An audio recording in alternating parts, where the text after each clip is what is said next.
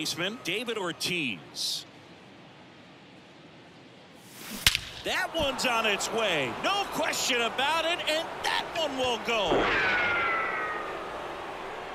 That was a moonshot, and they boost their lead. It's 20 to 1.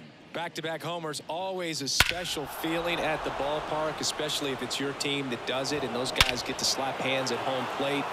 This is the kind of thing that can really fire up a ball club.